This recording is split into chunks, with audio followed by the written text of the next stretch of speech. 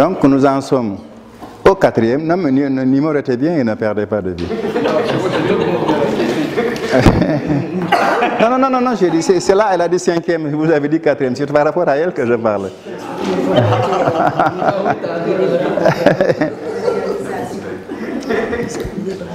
Donc, dans l'exécution, nous sommes au, quatrième. C'est ça. Nous sommes au quatrième, n'est-ce Dans l'exécution.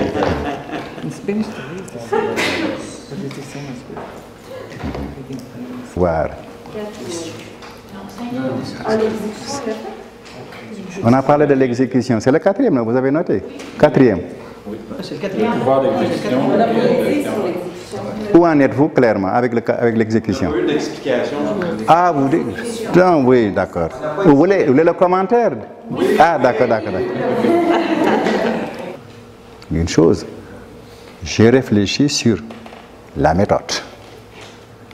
Une exécution se fait selon une procédure, certaines façons de faire les choses. Et dans la façon de faire ces choses, je ramasse bien sûr les forces, les moyens, etc. Les activités, et je, je- je réalise ce que je vais faire dans une exécution. Si je choisis de faire la médecine, il faut que j'exécute la formation à médecine. Du début jusqu'à la fin. Donc quand j'exécute une chose, je prends toute la procédure de la réalisation de la chose. Du début jusqu'à la fin. Il y a chez l'être humain quand même une activité de réalisation, d'exécution de ce qu'il a choisi de faire, ce qu'il s'est décidé de faire. Il faut qu'il l'exécute. S'il ne l'exécute pas, son choix, sa décision, tout cela, ça reste des choses vagues, des vues de l'esprit, mais pas des choses réelles et tangibles, prouvées et démontrées, pas du tout. Donc l'exécution est tout à fait nécessaire, et même obligatoire, une fois que je suis arrivé au choix et à la décision de la chose. Il faut que je l'exécute. Si je prends la décision de faire médecine, mais je m'en vais à la porte de la faculté, je n'exécute pas ma décision, je peux l'arrêter. hein. Et évidemment, je ne serai pas médecin. Il faut exécuter les choses. Quand tu as rêvé d'être médecin, Oui, aussi. Je n'exécute pas cela, alors je ne suis pas médecin du tout.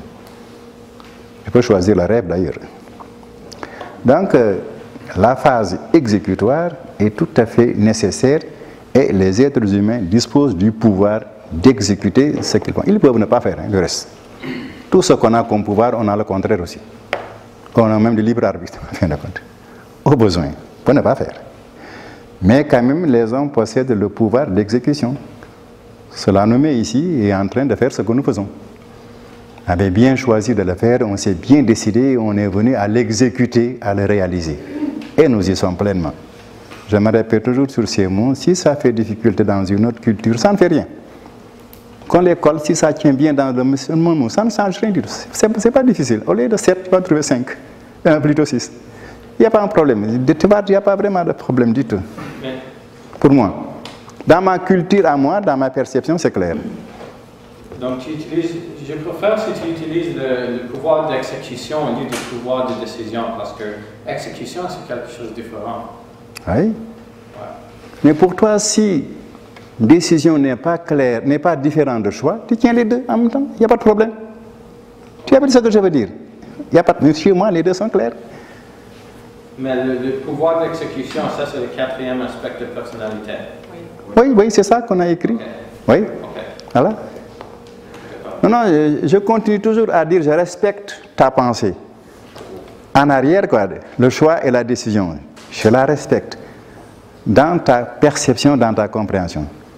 Mais dans la mienne, les deux sont clairs. Mais je respecte ta perception si les deux ne sont pas clairs. Sont pas, si les deux sont la même chose, bon, je respecte. Mais dans ma perception, les deux, oui. Je ne doute pas euh, qu'il faut prendre des, des steps, comment on dit ça?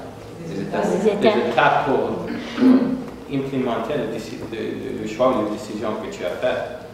Ça, Non, non, moi non plus, je ne doute, je ne doute de rien chez toi. hein. Non, je sais très bien. Non, je- c'est clair. Même si tu en doutais, ça n'enlève rien dans ma perception puisque je l'aperçois. Tu vois bien le jeu. J'essaie de partager Mais ce que je perçois en moi, même si je n'arrive pas à le faire percevoir à l'autre, ça ne s'enlève pas de moi. Voyez bien le jeu, ça ne s'enlève pas. Je respecte bien sûr ces perceptions, mais ça n'enlève rien de ce que moi je perçois chez moi-même. On essaie vraiment de, de- de s'entendre. C'est tout. Et puis, rien qui empêche que moi, j'ai- sept pouvoirs, puis lui, il n'y six.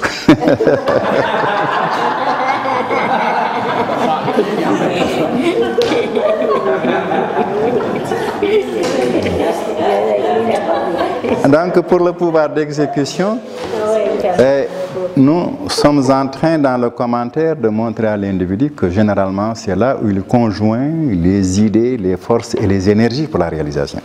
Dans le commentaire, faisons bien attention à ces données.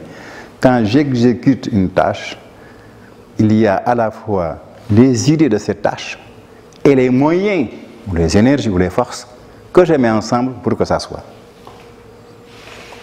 Donc, dans le commentaire de ce pouvoir, vous pouvez faire attention à cela. Ça nous intéressera plus loin. Mais pour le moment, ce que l'on veut, c'est la perception de ces pouvoirs dans mon être de personnalité. Nous en arrivons au pouvoir de jugement. Le cinquième, pouvoir de jugement chez, chez l'individu.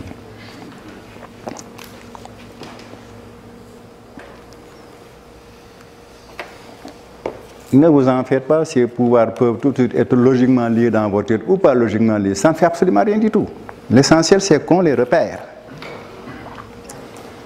Quand nous donnons eh, la notion du pouvoir de jugement, nous faisons attention sur ce terme.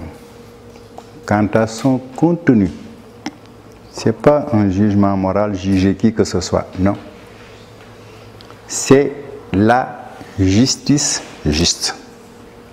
Ah voilà, faisons bien attention.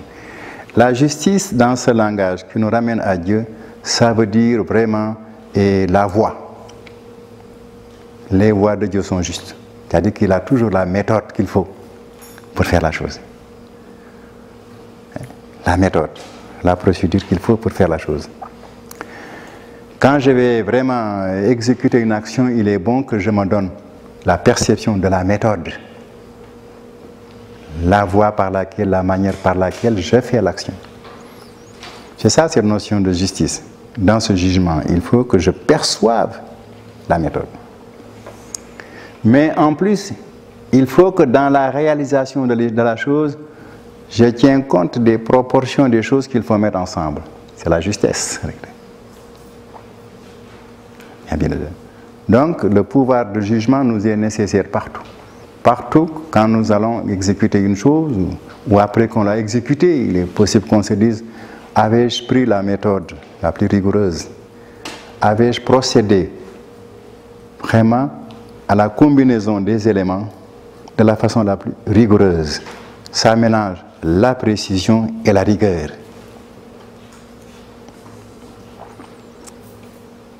La précision en mathématiques, bon, c'est par ce processus. Et la rigueur, c'est vraiment dans la combinaison précise de ces éléments-là que j'obtiens le résultat. La recette. Si tu me préfères, pour faciliter les choses. Donc, dans le pouvoir de jugement, il est vraiment intéressant que je considère la précision et la rigueur des choses. Pardon, le dernier mot? La rigueur, la précision et la rigueur.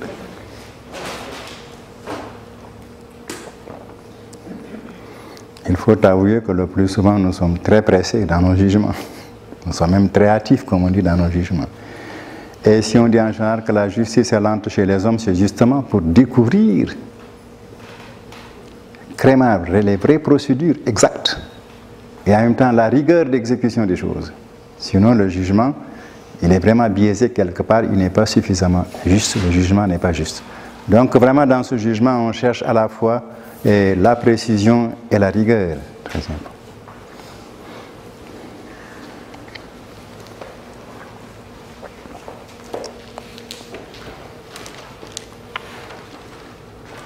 Donc cela nous met au cinquième, n'est-ce pas? Nous arrivons au sixième, je veux dire. Voilà. Nous allons, avec ce qu'on a dit, c'est le cinquième, on arrive maintenant au sixième. Le sixième pouvoir sur lequel je vous invite à réfléchir, c'est le pouvoir d'aimer. D'aimer. Oui, d'aimer, le pouvoir d'aimer. L'amour, si vous préférez. Nous avons le pouvoir d'aimer. Oui, c'est le pouvoir d'aimer. Euh, Ah oui. Si nous n'avons pas la, capacité d'aimer Dieu, rien ne sort. hein. Si nous n'aimons pas notre partenaire, on ne fait rien avec lui. Ah oui, c'est le pouvoir d'aimer. Ne l'oublions pas. Dans la recherche de Dieu, le mot amour est important. Aime Dieu et aime ton prochain. Remarquez pas ça. Donc le pouvoir d'aimer est vraiment dans notre personnalité. Tout ce que nous faisons en fin de compte, c'est parce que nous aimons le faire. Mais si nous n'y trouvons pas de l'amour, même si on fait le choix, si on se décide, si on exécute, on exécuter, mais on n'aime pas le faire, bah, Moi, quand j'étais jeune, j'aimais pas manger les oignons. J'ai fini par aimer les oignons. ah, voilà, tu as changé la vie. Tu as trouvé que les oignons étaient convenables pour toi. Ah, tu, as, tu, as, tu es arrivé à l'aimer. Ce pouvoir d'amour est très important. Ça me donne la capacité de trouver les harmonies entre les choses. Ce n'est pas un amour émotionnel comme ça, non. C'est la capacité d'établir les harmonies entre les choses. Si je veux aimer Dieu, il faut que j'arrive à m'harmoniser avec Dieu, à mettre entre l'être de Dieu et mon être la relation d'harmonie qui fait les intégrations. Donc euh, attention à ce mot-là. On n'est on n'est pas en train de parler seulement de l'amour de l'oignon, c'est vrai. Il faut mettre l'oignon en accord avec mon estomac, mon appétit, c'est exact. Mais poussons encore plus loin ce phénomène de l'amour, c'est de trouver les harmonies entre les choses. Ah oui, vous savez que on se rencontre, on se sépare, parce qu'on dit à un certain temps, on ne s'harmonise plus. Ça veut dire qu'on peut apprendre à aimer. Ah oui, il faut apprendre à aimer. Il faut vraiment apprendre à aimer. Si c'est la mise en adéquation, en harmonie des choses, ce n'est pas une chose aveugle comme ça. C'est un phénomène profond de la pénétration des réalités. Quoi. Donc le pouvoir d'aimer, voyez-vous, on emploie vite le verbe aimer, j'aime, mais aujourd'hui, on, je sais que le pouvoir est là, on approfondit. Parce qu'on va vers quoi? Aimer Dieu. Mettre ma nature et la nature de Dieu ensemble. Ensuite, aimer l'autre. Quand je suis sorti de cette nature divine, que je m'en vais vers l'autre, il faut que j'harmonise cette nature avec sa nature. Ce n'est pas une affaire hein, qui court comme ça à la rue. Donc l'individu possède le pouvoir d'aimer, le pouvoir d'amour. Tout cela, c'est pour dire plus loin, il s'attaquera aussi à leur culture. S'il n'en a pas assez, il va apprendre à les développer. Comme naguère les adjivas aussi.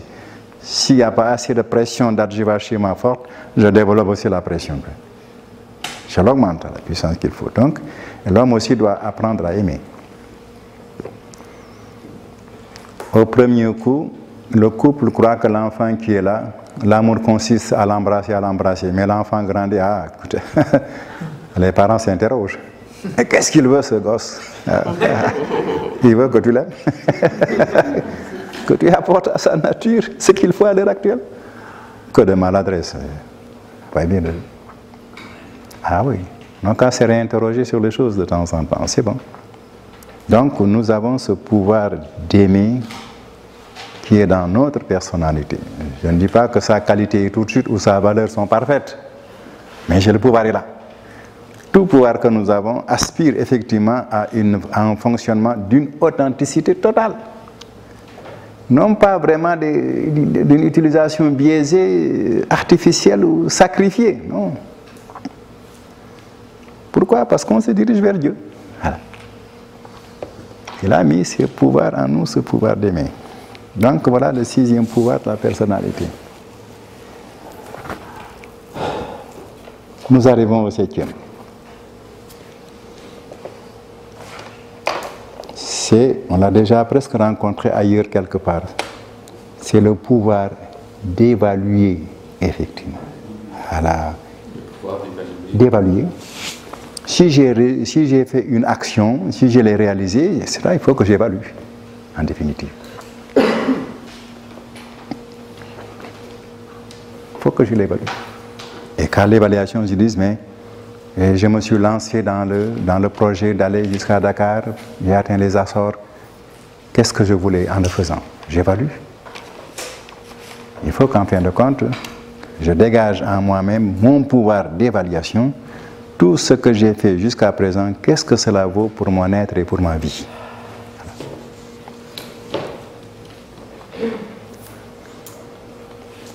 Ce pouvoir d'évaluation fait ressurgir en moi ce qu'on appelle le pouvoir d'autocritique. Il faut que j'ai la capacité vraiment de revoir tout ce que j'ai conçu ainsi depuis ma délibération, mon choix, ma décision, mon exécution et tout ce que l'on veut. En fin de compte, il faut que je dise qu'est-ce que ça vaut pour moi-même. Ce pouvoir d'évaluation, bien sûr, quand l'individu arrive et quand il a terminé, il peut se réinterpréter dans son libre arbitre. Est-ce que j'ai atteint mon objectif dans mon être ou dans l'application de cela? Si mon objectif n'est pas atteint, il s'agit des questions vraiment de mon propre être, de ma personnalité. Alors bien sûr, je reconsidère ce que j'ai fait, comment je l'ai fait, avec quoi je l'ai fait, pour arriver au résultat que je veux atteindre. Voilà donc les sept pouvoirs de la personnalité. Je vais vous poser une question comme on l'avait naguère rencontré dans les adjuvats. Ces pouvoirs, ça nous vient de qui? De nous-mêmes? De nos parents ou du diable? Eh bien sûr, la même, la même réponse vient. Ces choses sont installées en nous, je les prends comme des dons, et ces dons ne me viennent pas du néant. Le néant ne peut pas faire quelque chose. Le néant, c'est le néant. Je ne crois pas que le diable soit assez généreux pour me pourvoir de tout cela. Il est presque mon ennemi juré. Papa et maman, si je les interroge, non. Ils diront certainement, on t'a éduqué au fur et à mesure que tu grandissais. Mais on n'a pas installé ces pouvoirs en toi. Donc, à nouveau, l'être est en face de son, son créateur à nouveau. Sa conscience, comme sa personnalité, comme nous sommes en train de conclure partiellement, leur il les a reçus de Dieu. Vous pourriez également trouver des sous, des sous-pouvoirs, ça ne finit pas. Comme dans les adjets, vous trouvez des applications différenciées. Vous pouvez aller ainsi jusqu'à l'infini, même si vous le voulez bien. Ce qui est essentiel, c'est de prendre en considération le fait que ma personnalité repose sur des pouvoirs. Vraiment. Et que ces pouvoirs contrôlent parfaitement le sens de ma vie, contenu, valeur et qualité. C'est ce que ça représente pour mon être et pour ma vie qui est important.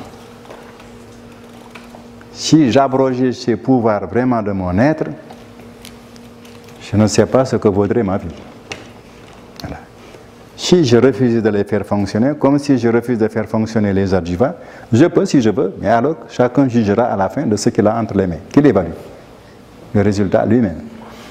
Donc voilà, nous avons déchiffré dans l'étude de notre personnalité sept modalités de pouvoir, comme nous avions dégagé dans notre conscience sept modalités de conscience.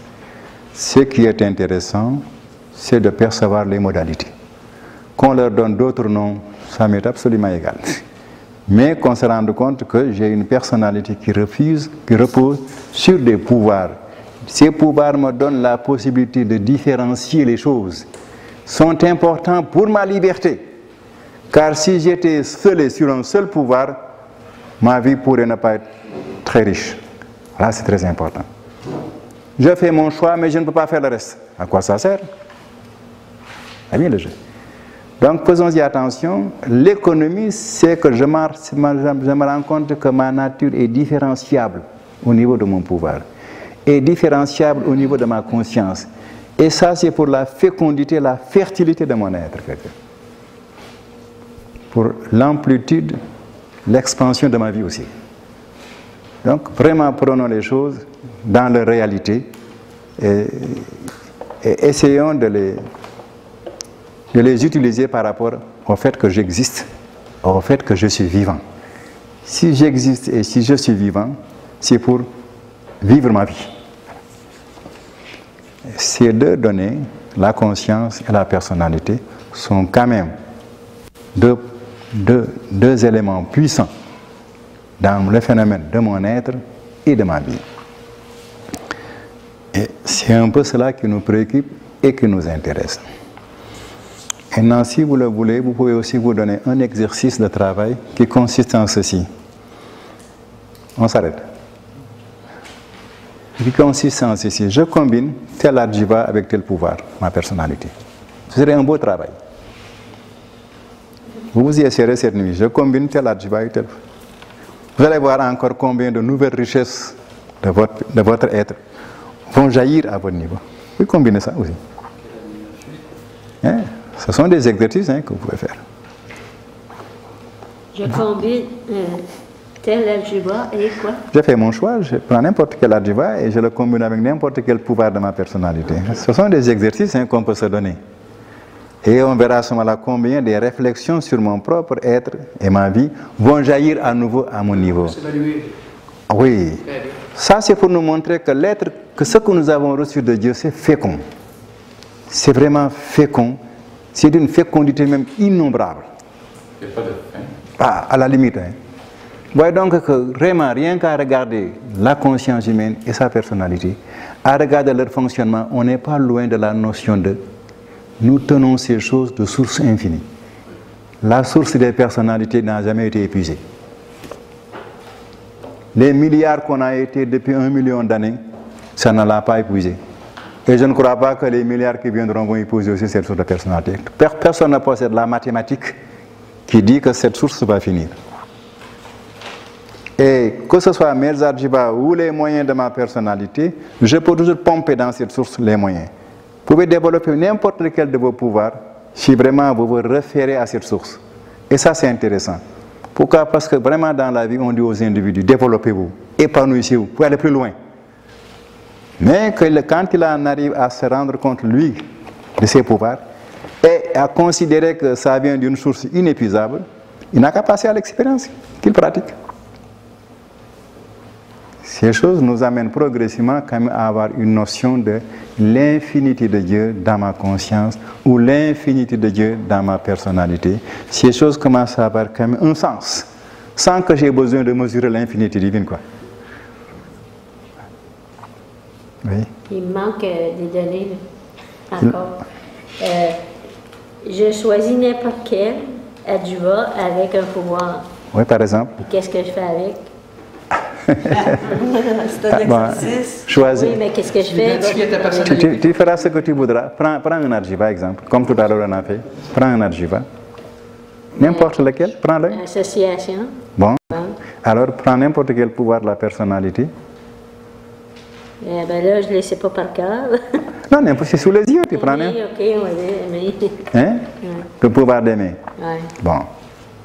Je prends mon association d'association avec mon pouvoir d'aimer. Dans quelle situation je me trouve? Il faut que je me trouve dans une situation d'aimer d'abord. Il ne faut pas que ce n'est pas dans le vide. Je veux aimer mettons quelqu'un. Et je veux arriver à m'associer à ce quelqu'un. Voyez bien le jeu. Je veux l'aimer et je veux m'associer avec lui. Il faut que mon amour pour cette personne puisse aboutir à un besoin d'association. N'est-ce pas. Tu vois, Je prends ce problème et je commence à réfléchir là-dessus. Tu peux créer du trouble avec ça. oui, tu as raison. hein. Oui, ça dépend, mais vraiment. c'est- Donc, voyez-vous, on peut travailler là-dessus. hein, Ça concerne chacun. On se met dans la situation et on essaie de travailler là-dessus. Et même si ce n'est pas clair tout de suite, revenez-y demain. Après-demain, vous allez voir ce que vous allez découvrir comme ressort de, de capacité, de manifestation, de facette de votre être dans votre vie. C'est un peu à cela qu'on vous pousse. Pour que l'homme comprenne qu'il n'a vraiment pas à pleurnicher. Il a reçu des dons de la part de Dieu qui peuvent l'amener à des choses extraordinaires dans sa vie. Que rien n'est monotone, rien n'est banal, rien n'est terre à terre en l'être humain. Seulement, il faut qu'il apprenne à faire usage de ce qu'il a reçu pour produire ce qui en sort. Et il appréciera le résultat, ce qu'il a produit lui-même. C'est ainsi que progressivement, il se rendra compte que vraiment, il n'est pas un être de misère. hein. Ce qui est mis en lui est relié à des sources où il peut puiser vraiment énormément de choses à chaque fois qu'il est devant une situation de vie d'où il a besoin de quelque chose. Où il a besoin de quelque chose. Donc vraiment là encore une fois de plus, nous nous appelons à l'esprit pratique de la vie. Mais si nous les laissons comme ça en l'air, bien sûr, bon, nous ne vérifierons pas ce que ces dons de Dieu contiennent pour nous. On peut les laisser là et discuter philosophiquement ou théologiquement sans fin. Mais ça, ce n'est pas vivre. Ce n'est pas pratiquer les choses. Et vraiment, je nous le rappelle, si Dieu n'était qu'un philosophe qui discute ces concepts, il oublierait de nous créer. Parce qu'il ne serait pas pratique. Nous aussi faisons attention. Si nous prenons ces concepts et qu'on discute continuellement en l'air sur ces concepts et que nous oublions de vivre les choses, nous ne découvrons pas ce que Dieu nous a préparé dans cela. Et ça, c'est important, vraiment. Même si je réduisais ma personnalité à deux pouvoirs ou trois, ça peut. Je fais des choix. Je peux restreindre les choses à cela. Je peux. Ça ne fait rien. Mais pourvu que je les pratique, essentiel. Même si je réduisais mes adjectifs à trois que j'appelle essentiels, je peux, si je peux. Mais pourvu que je les pratique, qu'importe. Pour véritablement me rendre compte que ces dons de Dieu sont vraiment des dons vivants et qui produisent des effets positifs pour ma vie. Même si je les réduisais à un seul, pourvu que je les pratique. Pour me rendre compte de ce que signifie ma création par Dieu. Mais si je ne les pratique pas, évidemment, ça ne va pas. Nous allons avancer d'un pas pour arriver à la notion de libre arbitre. Nous ne l'épuiserons pas encore. Nous en donnons des notions. Et c'est très important que l'individu comprenne ça. Il n'y a aucun don de Dieu qu'on peut épuiser. Si je prends mon archiva de compréhension, je me mets à comprendre. Mais c'est illimité. Ce que je peux comprendre, c'est illimité. Donc nous n'allons pas dans le sens de mesurer les longueurs ou les profondeurs des choses. Ça nous fatiguerait, c'est impossible. Mais nous allons dans le sens de concevoir clairement les choses. Mais aucun individu ne peut épuiser les, les potentialités d'un don que Dieu lui a fait. Ni l'archiva d'orientation, ni de compréhension. On ne peut pas épuiser les potentialités. C'est lié, nous le verrons plus loin, à des sources infinies. Donc nous ne tombons pas dans l'erreur de vouloir mesurer les choses dans un rapport mathématique. Mais entrons au contraire dans l'excellente joie que chacun me permet d'innover continuellement, d'amener des choses neuves et vraiment de développer davantage mes, mes tendances. C'est ça qui est très important. C'est là où Dieu nous attend. C'est pourquoi il dit, ressemblez-moi, je suis infini, venez à l'infinité. Oui, parce qu'il nous a collés à des sources infinies, effectivement. Mais il ne voudrait pas que nous nous mettions à mesurer vraiment ces longueurs, mais à vivre au contraire et qu'on pressente, qu'on repose sur des sources infinies. C'est ça qui est surtout vraiment très intéressant pour l'homme. Oui, tu vas arrêter. Ah, d'accord. Donc, nous n'oublions pas le libre arbitre aussi. On va progresser dans la notion de cette réalité humaine. Mais ne tentons pas de vouloir la mesurer de façon tout de suite complète. Chemin faisant, nous en avons un peu dit quelque chose. L'homme est équipé d'un libre arbitre. Nous manions ces choses à bout de champ. Philosophie, partout, partout, partout. Politique, tout ce que l'on veut. Mais nous allons chercher quand même à en avoir une certaine notion, qui sera une notion vivante, d'importance et utilisable. Et le, terme libre arbitre a été discuté ici, will et free will, will free, je voilà. Hier, ça a fait un peu de, discussion pour clarifier cette notion. Aujourd'hui, je nous invite à, à, à regarder cette notion d'une certaine manière pour que ça soit clair. À chaque fois que je m'arrête dans ma vie à quelque chose, à une situation donnée, vraiment, dans laquelle je voudrais m'engager, et je me donne la peine de, d'entrevoir, est-ce que cela a une valeur importante pour mon être? Est-ce que cela a une valeur et une qualité importante pour mon être C'est important avant de s'engager dans quelque chose, qu'on ait l'intuition au moins qu'il faudrait que ça soit valable pour moi, que cela ait une valeur et une qualité que j'en sors. C'est une chose que chacun doit manier quand il est dans une situation où il veut y voir clair. Donc, il examine. C'est ça le phénomène d'arbitrage. Il arbitre sa propre, son propre être et sa propre vie. Il arbitre. C'est-à-dire il en détermine les importances, les valeurs, les qualités ou les significations. Ça peut ne pas être clair tout de suite ou pas clair, mais quand même, c'est cette notion qu'avant de m'engager dans quelque chose, il est bon que tout de même, tout de même, j'arbitre un peu cela par rapport à mon être. Si je n'en attends rien, dans aucun sens, il est probable que je ne m'y dirigerai pas. Donc il y a un premier arbitrage de ma vie.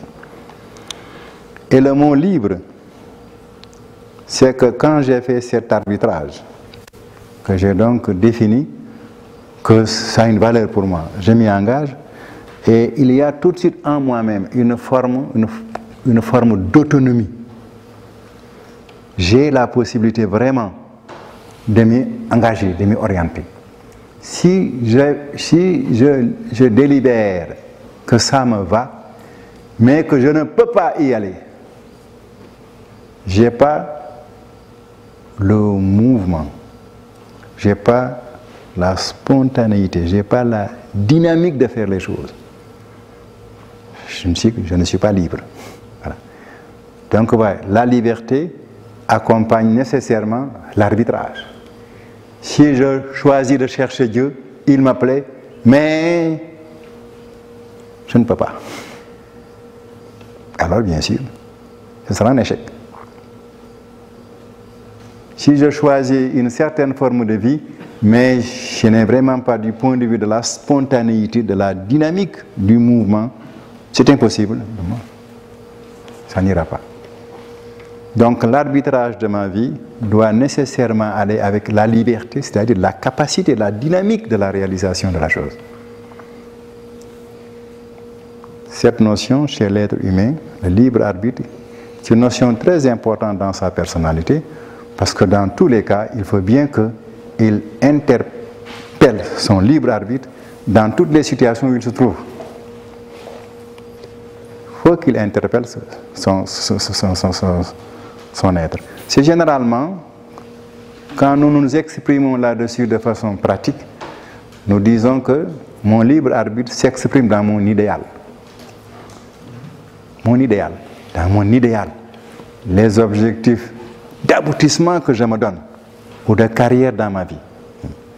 Mon libre arbitre vraiment a tendance à me dicter l'idéal de ma vie. Ce que du point de vue valeur et qualité, je suis à même de chercher à être, ce que du point de vue de la liberté, je m'organise pour la réalisation. Il faut que les individus aient forcément des idéaux. Si une personnalité n'a pas un idéal, on dira forcément sa vie n'a pas, de, n'a pas de sens pour lui. Il arrive bien sûr que les hommes vivent sans idéal. Mais ici, l'idéal ne signifie pas la rêverie. Ce sont des objectifs que je dois réaliser. Il est pratique. Je ne suis pas dans l'expression de l'idéal à la, manière des littéraires ou des philosophes. Non. Je suis dans le sens de la vie. Donc, ce sont des choses que j'atteins, que je réalise de façon pratique. Les idéaux mènent les hommes. Voilà. Les idéaux mènent les hommes. On réalise son idéal, c'est l'expression de son libre arbitre. Donc je voulais donner ces, quelques notions autour du mot libre arbitre. Vous pouvez toujours l'élargir par des nuances très nombreuses, les fortifier par des extensions très grandes. Mais le phénomène du libre arbitre chez l'individu, qui arbitre le sens moral, si l'on veut, de sa vie, des valeurs et des qualités, qui quand même réfléchit sur sa liberté, sa spontanéité, ses capacités de réalisation, mais qui réfléchit également sur la finalité de ses réalisations, on groupe tout ça dans le mot idéal. À mon libre arbitre, ça s'attache mon idéal de vie. Mon idéal de vie. Du point de vue de la spiritualité qui nous intéresse, généralement on nous propose deux idéaux. Aime Dieu, aime ton prochain. Si vous cherchez la signification finale de votre vie, par rapport à ce que Dieu a mis, là-dedans, parce qu'on ne peut pas mettre Dieu en dehors, il a créé notre vie. Alors si vous le cherchez, vous voulez vraiment trouver l'aboutissement final de votre être, il faut bien que vous tourniez vers, Dieu obligatoirement. Il dit abouti à moi, et quand tu m'auras trouvé abouti également, en tant qu'être divin dans ton frère. C'est très mystérieux, les deux idéaux et leur combinaison. Mais cependant, c'est ce qu'il demande à l'homme. Sois parfait vis-à-vis de moi, ma nature divine, et retourne-toi vers la nature humaine et sois parfait aussi. Et intègre cette perfection dans leur nature. Il faut dire que Dieu ne nous, ne nous laisse pas vraiment plaisanter. Les idéaux qu'il dit que ce sont les, les phénomènes pour lesquels il nous a créés, ah, ça ne blague pas. Sois parfait comme moi et aime parfaitement ton frère. Aime-moi parfaitement et aime ton frère aussi parfaitement. Voilà les deux idéaux que la spiritualité met tout de suite au bout de notre nez. C'est un peu ça qui, est important. Et à cet effet dit, je t'ai donné les moyens, tu as le libre arbitre pour évaluer du point de vue idéal, est-ce que cela a un sens pour toi avant même de t'engager? Tu as la conscience, tu as aussi les capacités de ta personnalité. Choisis-moi, aime-moi, je t'aime, tu aimeras ton prochain, etc. Donc il nous pousse à cet idéal. Qu'importe tout ce qu'on a dit, mais c'est pour vraiment nous rendre compte qu'il nous a équipés pour nous proposer le fonctionnement de ces deux idéaux.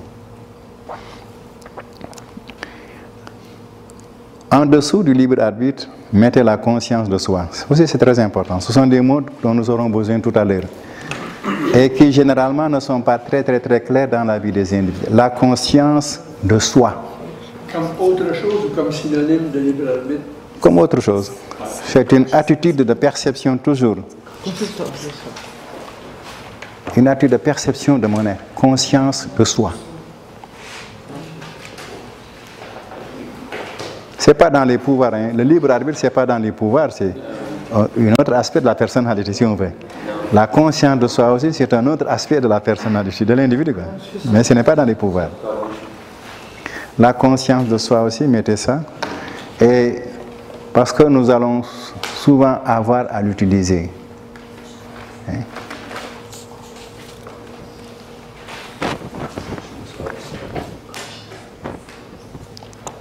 Nous avons déjà beaucoup travaillé sur la conscience de soi. Nous avons déjà installé les éléments de la conscience de soi. La conscience de soi, si on la repère en notion, voici ce que nous mettons à l'intérieur. À part mon corps dont j'ai conscience, ça fait partie de moi aussi. Vous pouvez vraiment commencer par là. J'ai conscience de mon corps. Ça fait partie de moi, de soi. Il y a ma propre conscience, sur laquelle j'ai travaillé. N'est-ce pas? Deuxièmement, la conscience de ma conscience. Dans la conscience de soi. Il y a la conscience de mon corps, la conscience de ma conscience ou de ma pensée. Il y a la conscience de ma personnalité, dont nous avons étudié les pouvoirs, c'est pour clarifier les choses. Il y a la conscience de mon libre arbitre.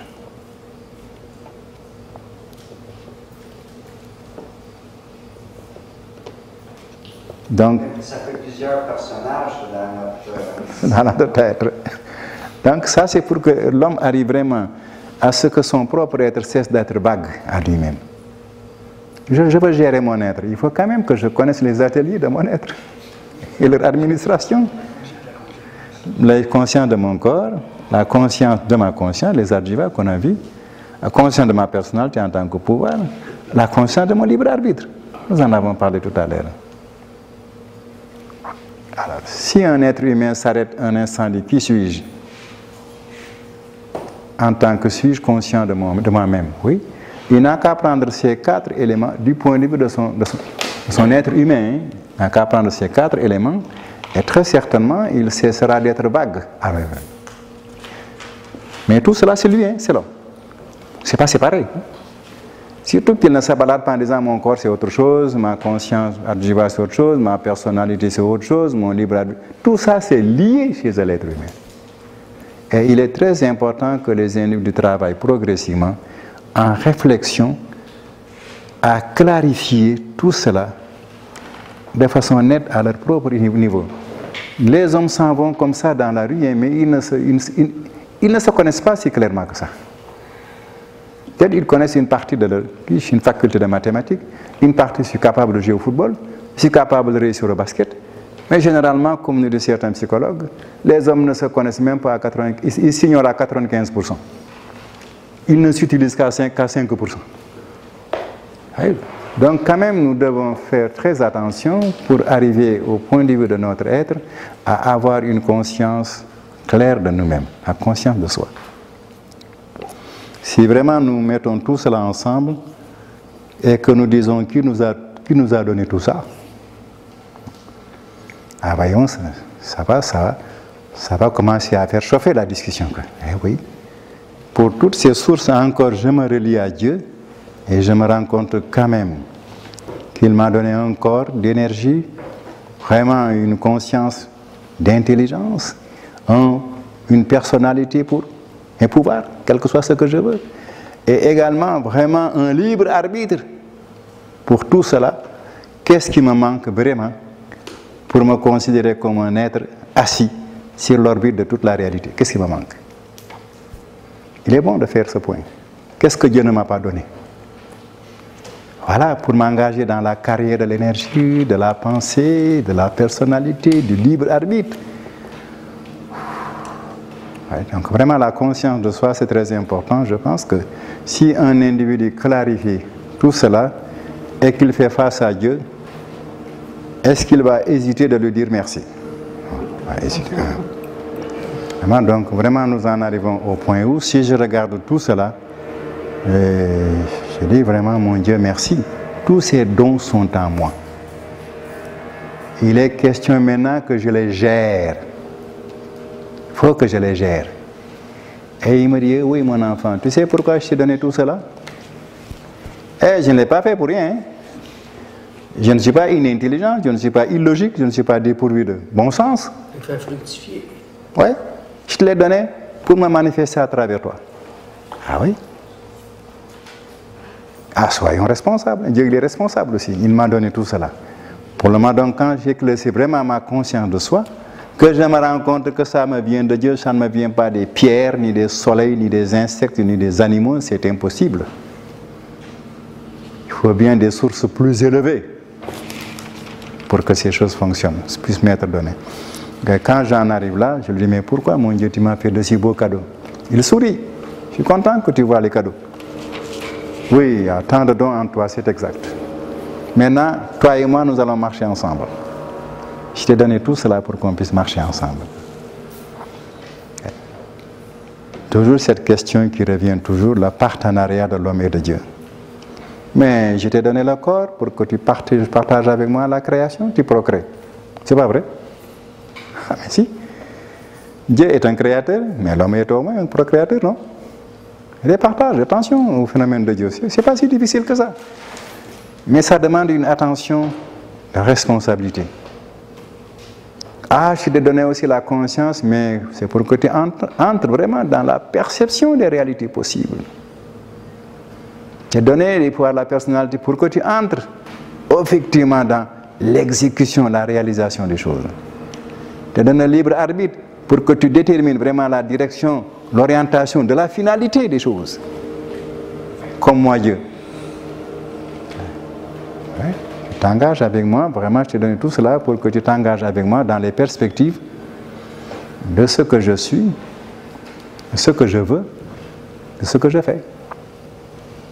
Ah, je t'ai donné les moyens. Si nous avions arraché ces moyens-là, je vous assure que nous n'aurions pas très facilement une idée claire de l'orientation de notre être par rapport à Dieu, à Dieu dans un sens significatif, où vraiment on peut d'avance se réjouir par rapport à tout ce qui peut sortir de là. Donc voilà pour euh, ce phénomène de la personnalité et le phénomène également le libre arbitre, le phénomène de la conscience de soi. Généralement, si vous mêlez tout cela, les pouvoirs de la personnalité, vraiment le libre arbitre de l'individu et la conscience de soi, si vous mettez tout cela vraiment entre vos mains, vous vous dirigez vers une petite explication de votre être, à quelque niveau que vous vous teniez. Si vous cherchez la personnalité, il y a quand même déjà quelques idées pour arriver à une certaine notion plus claire. Tu veux poser une question Voilà donc pour ce travail, oui. Moi, quelque chose qui m'a toujours un petit peu euh, là. c'est que euh, la personnalité, et puis le, la Là? L'ajusteur. Oui, oui, oui. Ah, oui, d'accord. Euh, je pensais, je me suis dit peut-être la per- on a une personnalité au moment où on a un ajusteur. Ou l'ajusteur vient quand on a une personnalité. Tu sais, c'est là. Ah oui, ah, c'est c'est un autre problème. C'est un autre problème. Mais cette discussion, nous la clarifierons davantage plus tard, mais quand même, à toute question posée, il faut essayer de donner une petite réponse. Oui, mais, comment on va réduire le temps d'attente? On va donner un peu de satisfaction. Et si nous regardons un être humain depuis le ventre de sa maman, on voit qu'il est en route. Il n'est pas aussitôt achevé. C'est exact. Nous sommes des êtres de temps et d'espace. Ne le perdons jamais. Si nous étions des, des êtres conçus dans l'absolu, il y en a des êtres comme ça, sans délai, sans aucune durée. Dieu a créé des êtres comme ça. Tout se fait en même temps. Mais nous, nous sommes des êtres conçus autrement. C'est encore une approche dans la sagesse divine. Il y a une approche de perfection. Nous l'étudierons. Où il a fait les choses sans délai. Et des créatures sans délai. Mais il y a une autre approche qu'on appelle la méthode du temps et de l'espace. Où il développe une autre façon de faire, une autre sagesse. Celle-ci n'est pas moins bonne que celle-là. Non, là, pas la question. Quand il s'agit de Dieu, évitons des comparaisons dans le sens de dévaluer ou de surévaluer. Non, non, non. Mais dans le sens de comprendre les choses. Chaque méthode que Dieu prendra de manifestation de sagesse, ce sera certainement rempli de choses excellentes à la mesure, à la nature de la divinité. Mais ça se conduira d'une certaine manière. Si nous regardons un enfant dans le sein de sa maman, on sait parfaitement qu'à ce niveau fœtal, c'est l'étude des adjectifs approfondis, si on lui demande bouge, réponds-moi toi, je perdrai mon temps quand même. À ce moment-là, je ne peux pas répondre. On va discuter d'un problème d'algèbre, mais je perds mon temps, quoi que soit son papa. Il ne répondra pas. Mais si je le laisse sortir de là, du berceau, et dans la suite du temps, je me rends compte que de plus en plus, il manifeste des réalités qui étaient probablement là dans son être, mais qui n'étaient pas visibles.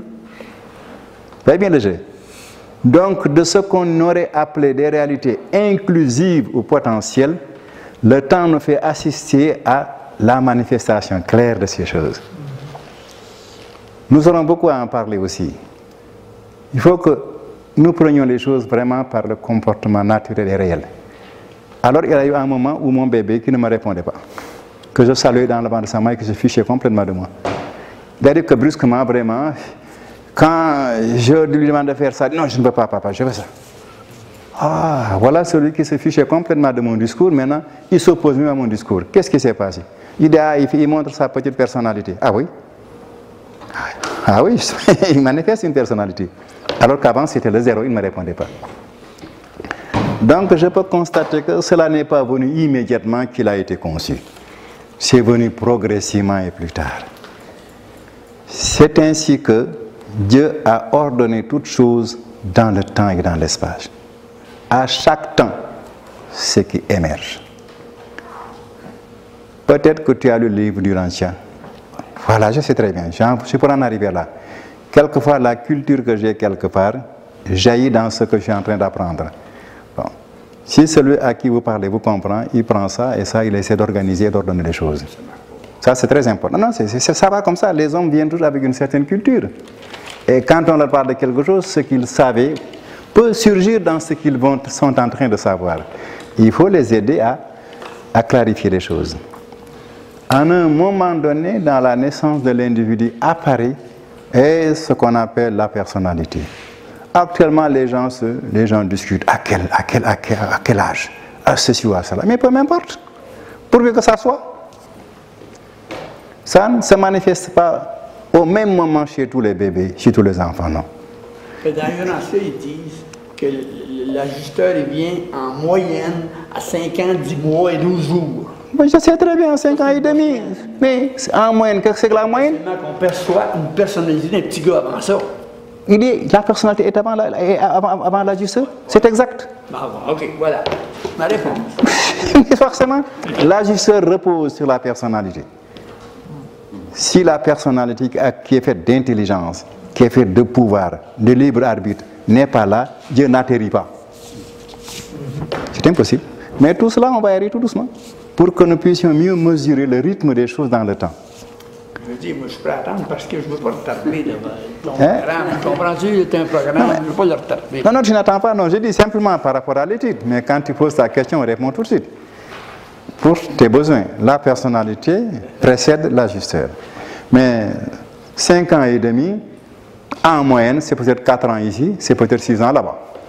Donc là aussi, ne nous perdons pas. C'est une donnée statistique. C'est moyenne. Ouais, faut pas le flanquer chez tous les enfants. oui, tu t'arrêtes. Il est l'heure, oui. Donc là aussi, faisons attention. Ne discutons pas sur des éléments qui ne feraient que des, des débats intellectuels. Une moyenne, c'est une moyenne. Peut-être que chez un enfant, ça vient 3 ans, d'autres ça vient 7 ans, je ne sais pas quoi. C'est une moyenne, c'est une moyenne. Donc là aussi, c'est exact. Mais la personnalité précède effectivement l'ajusteur. Ça, c'est exact. Mais euh, aussi, ce que j'ai compris, par exemple, dans Urantia, c'est comme nous autres, on personnalise un peu Dieu. Oui. Oui. Tu veux des explications là-dessus? Non. Pas encore. J'ai bien, bien compris quand j'ai compris que, Voilà. que, que nous, nous autres, on personnalisait Dieu. C'est ça, c'est ça, je pense que Oui, on en discutera aussi. Et ce n'est pas tout à fait qu'on personnalise Dieu, mais plutôt il faudrait dire là d'où viennent mes, adjuvats? Certainement la pensée existe. Je ne ramène pas Dieu à ma pensée des adjuvats. Mais là d'où cela vient, certainement le mécanisme de la pensée existe. Là d'où vient ma personnalité, certainement Là, c'est la source des personnalités la notion de personnalité existe. Donc ça c'est très important. Il y a des façons de prendre les choses qui nous évitent de faire des confusions. Effectivement, si Dieu ne possédait pas, n'était pas le principe de la personnalité, il ne le donnerait pas. Mais quelle est sa personnalité par rapport à la mienne, c'est un autre problème. Voyez le jeu. C'est pourquoi effectivement dans ces choses, il faut que nous avancions avec beaucoup de précision pour ne pas faire des confusions rapides. Mes arguments me viennent de Dieu et c'est certainement la preuve que Dieu a une pensée. Mais quelle est sa pensée par rapport à la mienne? Certainement, plus important. Mais au moins, il en avait, parce que s'il n'en avait pas, ça ne sortirait pas de lui. Parce qu'on dit aussi dans l'Urantia que l'ajusteur est prépersonnel. Ah voilà, c'est justement pour nous avertir qu'on ne doit pas le prendre à la lettre de notre personnalité. ils, ils essaient de trouver un mot pour nous faire éviter la confusion directe. Donc nous venons ce matin. Merci pour vos prières d'hier. J'ai refusé le traitement de Gaëtan et vos prières m'ont traité. Je me sens beaucoup mieux. Merci beaucoup.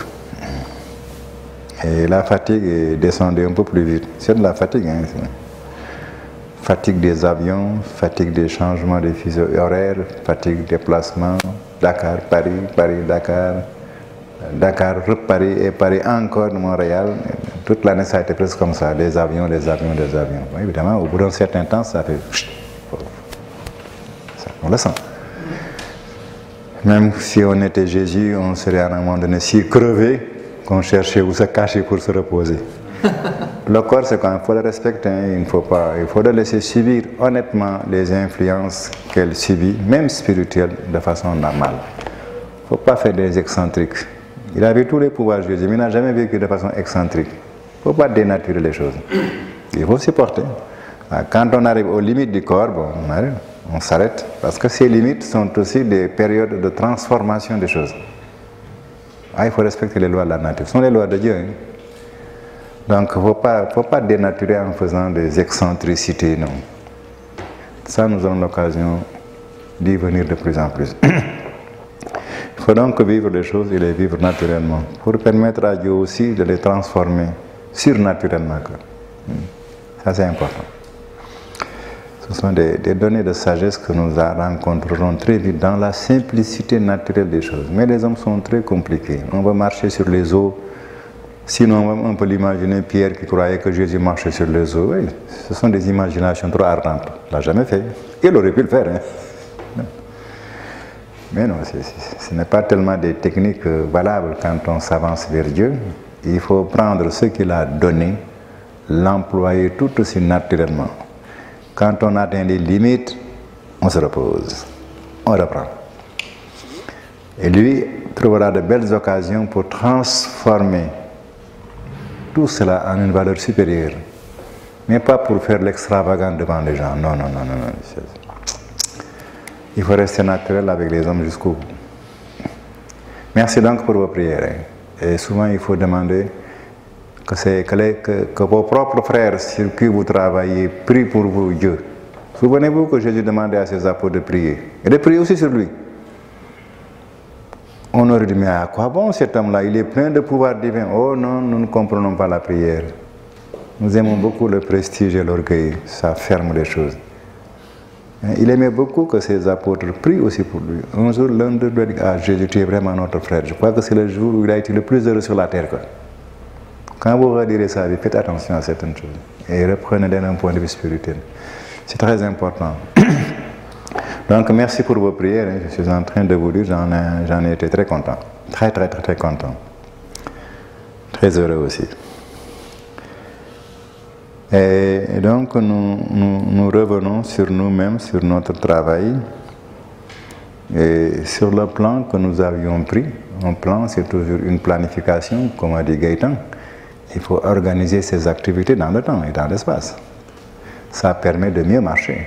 Si je me lève, je n'organise pas vraiment ma journée, euh, ça peut être vraiment trop de, trop de hasard, comme dirait l'autre, c'est-à-dire des choses pas, pas, pas rationalisées. Et n'importe quoi, quoi peut me gêner par rapport à ce que je dois faire, ou me travestir, ou me déformer. non.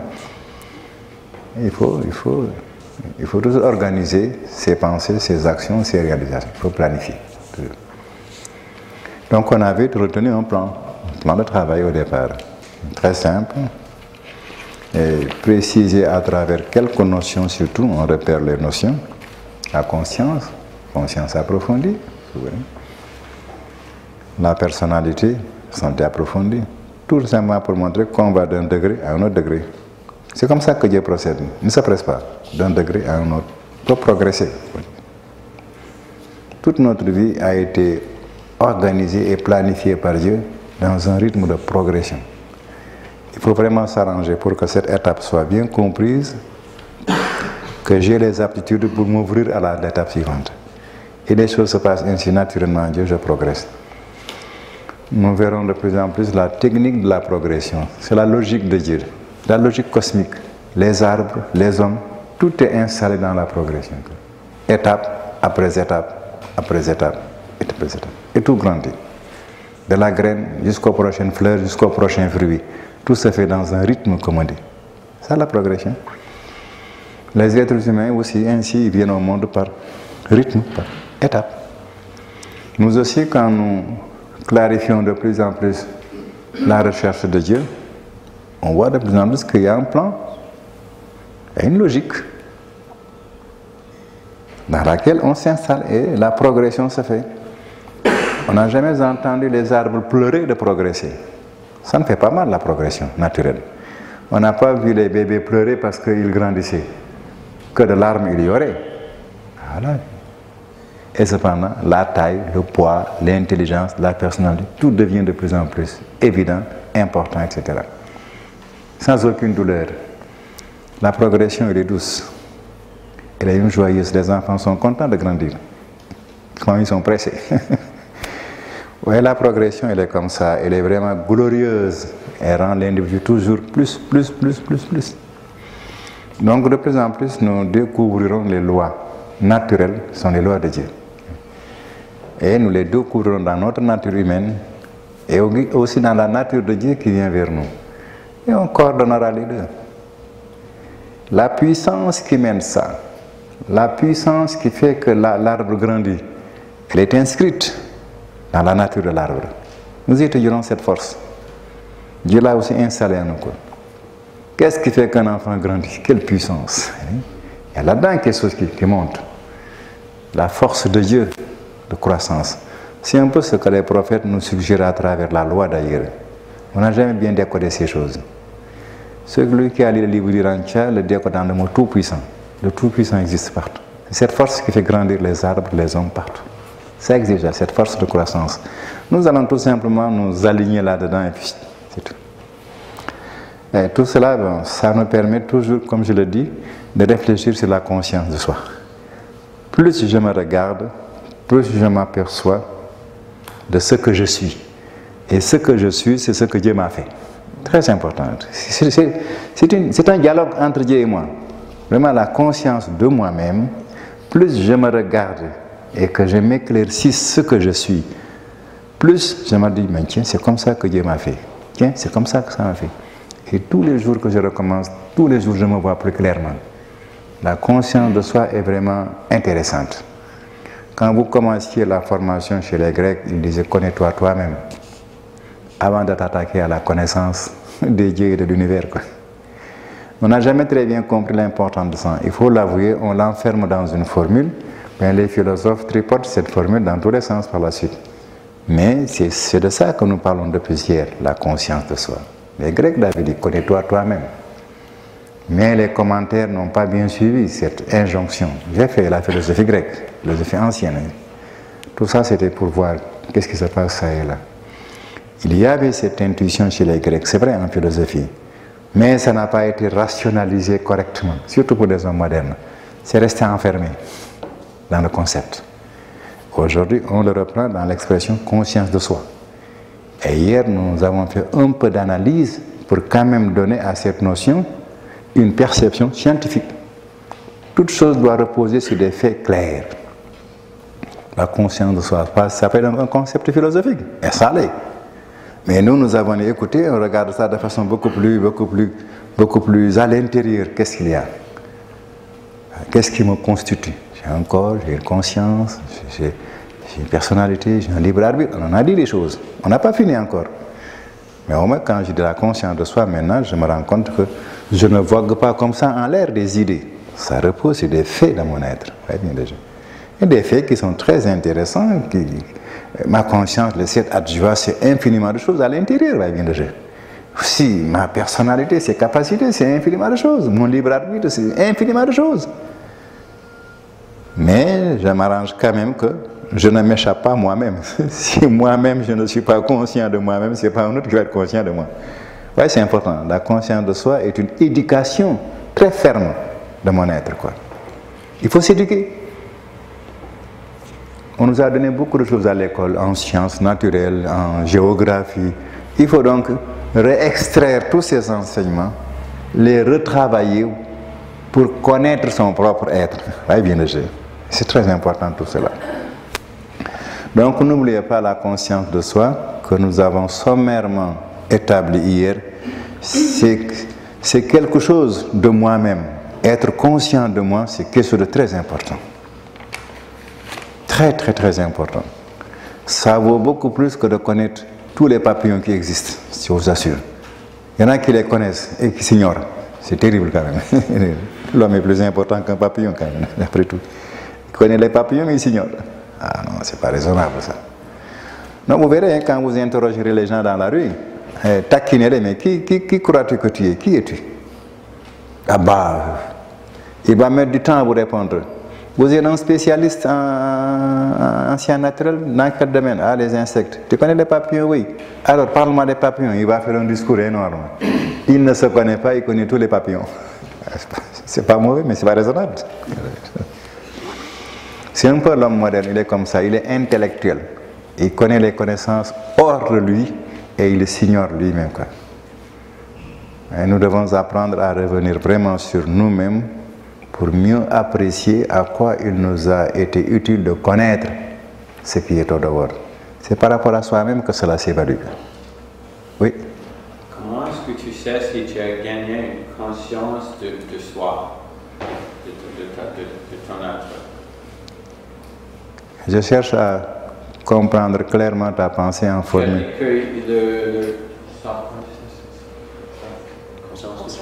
Tu as dit que la conscience de soi c'est très important, une des choses les plus importantes. Mais comment est-ce que nous savons que nous avons gagné, que nous avons appris une conscience de soi? C'est bien sûr, hein, je, euh, je crois que j'ai insisté hier d'abord sur les différents éléments, les premiers qui me font repérer moi-même. J'ai mon corps, j'ai ma conscience d'adjuvant, j'ai ma personnalité, j'ai mon libre arbitre. Nous avons déjà parlé de ça hier. Mais j'ai dit que sur le plan pratique de l'exercice, si je pense et si je repense ces choses en moi-même, avec l'intention toujours que ça devienne plus clair, ça devient plus clair. C'est dans l'intention même de Dieu qui nous a créés que nous soyons toujours plus conscients de nous-mêmes, plus clairs. Mais il faut de l'exercice, il faut le faire. hein. Donc vraiment, si quelqu'un veut mesurer ce qu'il gagne en conscience de soi, il n'a qu'à y travailler aujourd'hui, demain, après-demain. Au bout d'une semaine, il va voir. Mais il faut faire ce travail nécessairement. Donc si on laisse de côté les exercices, et si on laisse de côté l'expérience, c'est l'expérience qui nous, qui nous montre les choses. Dans l'expérience, nous le verrons plus loin, dans le fait de faire des efforts pour me comprendre. Il y a une lumière de Dieu qui monte et qui m'éclaire encore davantage sur ce qu'il a mis en moi. Donc ne laissons pas de côté l'expérience, sinon on risque de discuter sur les, sur les concepts. Ça fait de la philosophie, de la science, on n'en sort pas. Mais si on fait l'expérience, on voit soi-même les résultats. C'est très important et ne le perdons pas de vue, de plus en plus nous y viendrons. C'est pourquoi je vous ai dit, pratiquez, faites des exercices, revenez là-dessus, insistez.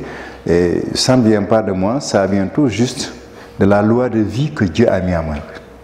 Alors plus je reprends des choses, plus une lumière qui- qui m'éclaire grandit davantage en moi-même. Plus en apprenant à faire de la bicyclette, plus je prends des leçons, plus je deviens capable.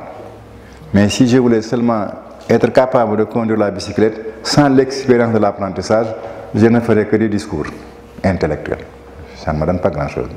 Donc c'est important, la dimension de l'expérience, ne, la- ne la- ne nous la enlevons pas. Si nous, nous l'enlevons, nous restons tout simplement sur les, sur les discours. Mais si je suis en classe, c'est pour toujours préciser les choses, je suis en classe de chimie, on va faire une expérience sur le phénomène chimique de la production de l'eau. Je connais bien la loi chimique. hein, et deux molécules d'hydrogène ajoutées à une, à une des molécules d'oxygène, ça donne de l'eau dans la formulation chimique. Mais si je suis là à regarder mon hydrogène mon oxygène, je ne fais rien. Je ne sais rien. Je l'ai dans la tête, mais je ne l'ai pas dans la certitude. C'est l'expérience qui me conduit à la certitude. C'est très important. L'expérience, elle est fondamentale chez l'homme. Quand je déclenche cette réaction chimique sur l'arc électrique, la goutte d'eau vient. Mais si je ne fais rien, il n'y a rien de certain. Je n'ai que des- des idées simplement intellectuelles. Mais je n'ai pas vérifié expérimentalement la vérité de la chose. C'est vraiment très important pour ceux qui étudient Dieu, qu'ils ne perdent pas de vue le côté expérience des choses. Dans ce travail d'expérience des choses, il s'ajoute une force nouvelle que nous étudierons plus loin, que Dieu tient. Tant que vous ne vous y mettez pas, la force retient. Nous l'étudierons un peu plus loin. Je l'ai nommé tout à l'heure. Je ne veux pas que ça embrouille les idées. Mais dès que vous faites l'expérience, tac, ça arrive. Quand un papa et une maman disent Oh, quand nous aurons un bébé, mais ils ne s'y mettent jamais. Quand nous aurons un bébé. Mais jamais de bébé, on ne fait jamais de bébé, ça ne va pas. Mais le jour, tac, ils vont faire un bébé, quand ils mettront leurs facteurs parentaux, tac, la génétique, c'est une autre force jaillit. Dès que les deux se rencontrent, une troisième force jaillit. que nous connaissons en sciences comme la génétique, mais que nous, nous allons étudier plus loin. Nous avons déjà parlé hier de la sagesse divine. Quand nous mettons deux choses qui doivent aller ensemble, une troisième chose apparaît toujours. Donc nous aurons l'occasion de parler de ça et ces choses ne sont visibles que dans l'expérience. Si vous ne faites pas l'expérience, la troisième force qui conjoint les deux autres et qui donne la réalité nouvelle ne fonctionne pas. L'expérience est très importante pour les gens qui vont vers Dieu. Comprenons bien les choses, mais ensuite pratiquons. Et ne le négligeons pas. Dans la conscience de soi, on a donné hier certains éléments pour nous repérer. On va en apprendre d'autres, c'est certain. Mais on a appris certains éléments, mon corps, ma conscience, ma personnalité. Que tout est lié. Vraiment, Dieu ne m'a pas créé dispersé, mon corps n'est pas là-bas, ma conscience. Non, non, non, non. C'est curieux, il a tout mis ensemble. Donc les hommes n'aient pas peur.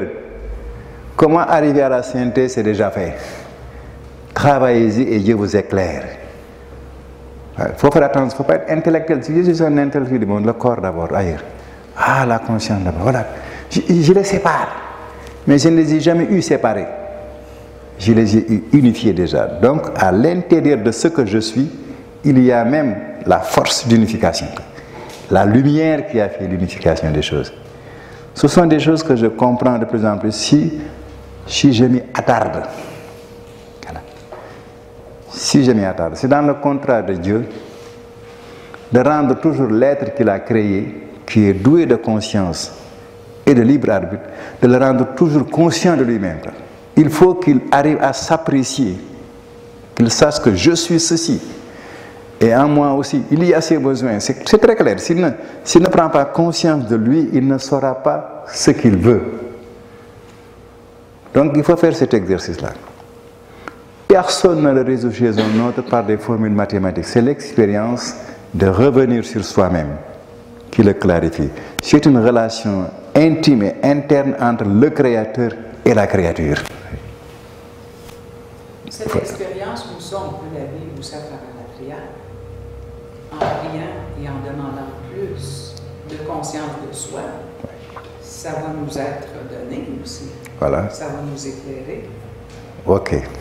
Donc, nous avancerons vers toutes ces techniques de prière, d'adoration, de service. Ce seront des éléments supplémentaires pour davantage nous percevoir et percevoir nos relations avec Dieu. Tout nous est donné, mais généralement, nous ne prenons pas correctement les choses. Évidemment, ce n'est pas clair. Il y a des choses que l'expérience donne. Donc, euh, quand je vous le répète, ce n'est pas pour vous embêter. Mais c'est pour vous suggérer que vous verrez, pratiquer, vous verrez ce qui, ce qui va être donné. Mais il faut vraiment se donner le temps, une demi-heure, un quart d'heure par jour où je m'assois quand même quelque part. Je me considère pour ce que je sais de moi. Et je cherche à réfléchir sur la compréhension plus claire de mon être. En ce moment-là, il y a une lumière qui éclaire mon être là-dessus que Dieu m'envoie toujours. Mais c'est au fur et à mesure que je le fais, de semaine en semaine, que je me rends compte moi-même que je suis encore plus éclairé sur mon être. Et ça, ça on peut l'appeler déjà prière, hein, si on veut. Mais dans un premier temps, on dit à l'homme de, de bonne volonté, fais, pratique ta bonne volonté. La volonté de te connaître, de connaître bien qui est en toi d'abord. Ce sont des exercices qui payent. Mais tout cela nous mène bien sûr vers la découverte de nos relations avec Dieu. Vraiment, je ne saurais assez vous le redire. L'expérience vous persuadera de l'intérêt et de l'importance de cette démarche. Alors c'est un tout petit peu pour mettre un peu de temps devant, sur la question de Michael. Vraiment pratiquer l'expérience de réfléchir sur vous-même, mais en essayant de repérer vos réalités. Non pas en faisant de la philosophie pour autre chose, non. De la clairvoyance sur soi-même. Il ne faut pas se tromper. Hein? Je me regarde pour mieux me voir. Mais je ne me regarde pas pour faire des discours sur, à autrui sur moi-même. Non, non, non. Là aussi, nous sommes des intellectuels. On est pressés de faire des discours, je le sais très bien. Mais là, il ne faut pas se tromper d'objectif. Je le fais pour vraiment me percevoir. C'est très important, c'est une expérience personnelle de clarification de la conscience de soi au niveau de soi-même. Donc nous disions que dans le plan que nous avions retenu, il y avait donc cela que nous avions noté. Nous avions noté après l'étude de la conscience, l'étude de la conscience approfondie. Oui, tu veux parler?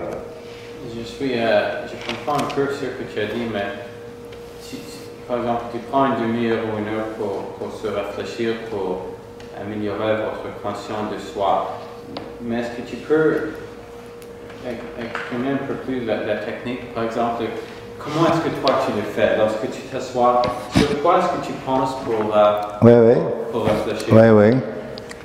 Quand je quand j'étais dans mes recherches, hein, quand je, me, je, me- je me débrouillais dans mes premiers moments.